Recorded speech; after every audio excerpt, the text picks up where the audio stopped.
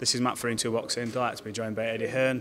Eddie, we're here for Conor Ben Media Day, but first off, don't ask you about Taz Fury because everyone's done that. Talk to me about the magnitude of this event coming up. You've just had Canelo Triple G3, you've had historic nights like Kate Taylor Serrano. Talk to me about your... Get us, get us, Let me get to that. Joshua Usyk, talk to me what it's like to be sort of in your head and what mindset you have to have to put together these big events and to do what you do. Well, you're always under pressure to do it. You know, it doesn't matter whether it's Joshua Fury or Benn Eubank. After you've done a big event, that's kind of like irrelevant to people. Like it never happened. Like sometimes you see the criticism, you go, "Ooh, Matchroom a bit's been a bit slow lately," and then you just read off what you've just read off, and they it's like it's forgotten. So you're only ever as good as your last event. And at the moment, you know, we go into Benn Eubank as one of the biggest fights we've ever done, quite frankly. And I knew it was going to be big. I probably didn't think it would be as big as it's going to be next week. We've seen across the numbers, and you know, it's. I don't say it's like business as usual, but you, we, it's expected from us to produce these big events. So, you know, when we did Canelo Triple G, Joshua Usyk, Taylor Serrano, Benn Eubank, it's just expected now from us. But that also increases the pressure because you don't really get a lot of credit for putting those fights on because it's just become expected over time. Well, I'll give you the credit. Obviously, you and your team put together, you know, hell of a production, hell of a show. How proud are you, the team at Matchroom, for the work they do to make it as good as it is? Yeah, amazing team. And, you know, also, when I started in the boxing division... Leisure centres. Yeah, but not just that. It was me, John Wishausen and Frank Smith. Three of us. There's about 50 now in the team globally, you know, and I'm very proud to go to the various offices around the world, to stand at the shows around the world, especially Vegas the other week, you know, when you're thinking, wow, we're really doing this, you know, and it, I think it's only really when you're done or when you're finished that one, you get appreciated, and two, you actually respect what you've done. See, I'm actually my biggest critic, so a lot of the time, I'm not. I'm never standing there going, "Wow, I can't believe what we're doing." We do, but we should. And over time, when it's all said and done, we will look back and go, "Can't believe we did that." I'm going to say, because it's like a boxer's career when they, they only get credit when they retire or sadly seem to be pass away, and everyone goes, "Oh, what a great fighter." Do you? So, do so you want me dead?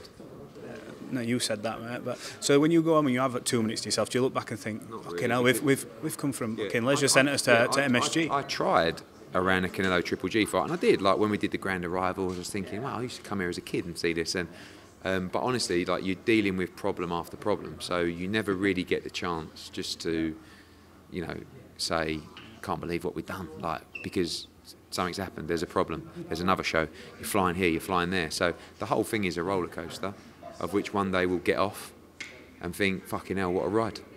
Absolutely. Well, speaking of problems and things that we've been having, we'll come on to Tyson Fury. And Anthony Joshua talks to start with. Start with. I like you what know, ease you in, yeah. like what. Yeah, was get you, thinking- get I was thinking, wow, he's really going to do an interview, not asking about that. That's a bit stupid of me if I didn't, but we'll move on to it. Um, apparently, this morning there's been an extension, a Tyson Fury extension. Tell me where we are and where we're up to it because I'm hearing things that he's definitely fighting Charr. Yeah. And then, but it, one, one thing I have took from this, it seems like Matchroom and Queensberry are on the same page. Am I right in saying that? Yeah, absolutely. And actually, I can't fault them, and they can't fault us in this situation. The only thing that's frustrating and baffling is is um, Tyson Fury's deadlines. But a lot of what he says is actually not true. You know, we haven't had the contract for 14 days. When we agreed terms for this fight, it took them about eight days, nine days to send a contract. I'm not mad on that, by the way, because it's such a huge fight. But when we got the contract, it was all over the place. So we spent last week on the phone every day to them, having Zoom calls, getting it in a good place. I mean, don't forget, you heard from both sides last weekend, just gone, that things are going well. Then Tyson Fury says it's got to be signed by Monday. It was never going to get signed by Monday. But on Monday, we sent a final draft of the agreement to Queensberry. He came out and said, the fight's off, you haven't signed, you're a dosser, etc., etc. So you kind of down tools, AJ's like, whatever. Then on Tuesday, George Ryan says, look, let me just try and see if I can talk to Tyson, talk to Tyson. Yesterday afternoon, we received back their comments on our final draft, which again, just process. Like, um, Yeah, it's a big thing. Exactly. So we've got them. The team are reviewing them today, and we'll go back with our comments on their comments. Eventually, after a few back and forths, you get to a point with the drafts and the changes that it's acceptable to both terms. This is not, again, we're here for Chris Eubank against Conor Benn.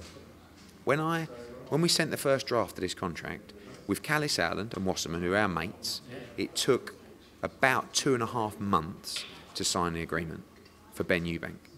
It's not unusual. Yeah. So then George, I spoke to George at midnight last night, and he said, uh, "Let me speak to Tyson Fury and try and convince him." All of a sudden, you see a post on Instagram going, "Sign it today." Or else. It's like, it ain't getting signed today. Queensberry know it's not getting signed today. Yeah. Queensberry have never said to us, you need to sign this contract today, because they, they actually can't, because they know it's not ready. Yeah. You know what I mean? So they're trying to. And by the way, look, Queensberry definitely don't want Fury to fight Manuel Charr because it's going to cost them a fortune. It's a terrible fight, right? So they want to make this fight, and so do we.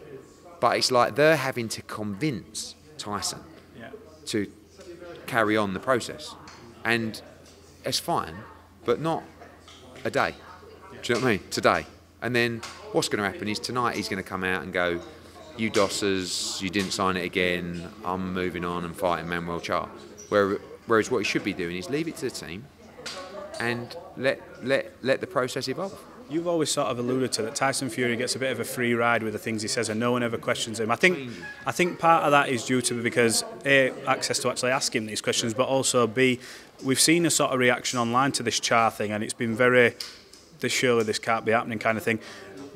What if he fights Manuel Charr? What do you think the reaction will be? Because if and, and Josh, yeah, They also offered Chisora to fight today, so maybe he fights Chisora, you know. So I don't know. I mean, if AJ fought Manuel Charr, but I've said this before again about Tom Schwarz, about Sefer Seferi, about about Pianeta, like AJ would even off the back of two defeats, AJ would be crucified for fighting Manuel Charr. even now you think of two defeats, Yeah, he's not even ranked. Like, but- nineteenth in it outside. But but when I say two or three weeks ago, I think I'm hoping I'm wrong, but I reckon he's going to end up fighting Manuel Charr. And then uh, ten days later or a week later, they're going at it on Instagram randomly. Like, if the AJ fight can't get made, why not fight Joe Joyce? He's in the same camp. It's a tremendous fight. So, but he won't. He'll fight Manuel Charr, and everyone will go. But I've seen that. I see the response from people online. It's it is it, you know I think that even they've had enough. And I hate doing these interviews because it's fucking boring and it's tedious. That's, why I didn't start with it, That's why yeah.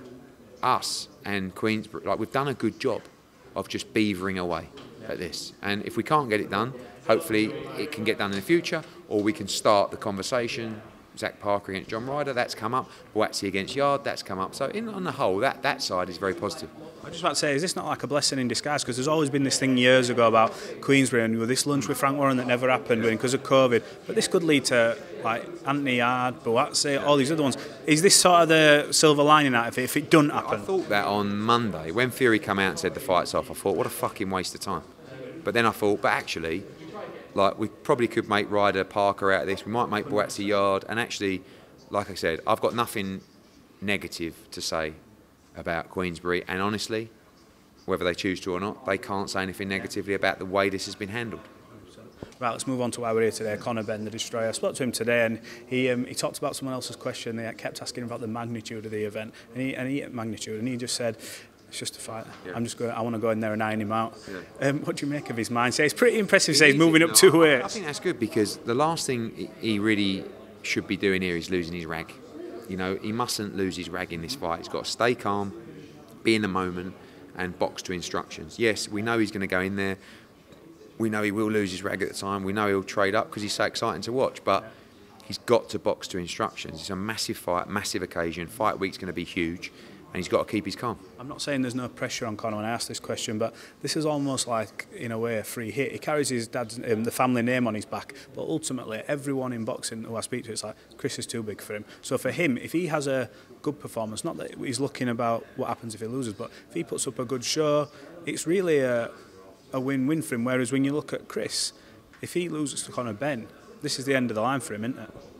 Uh, yeah, I believe it is. I mean, there are there is pressure on both fighters, but I think you know Conor's a slight outsider, but I don't see it like that.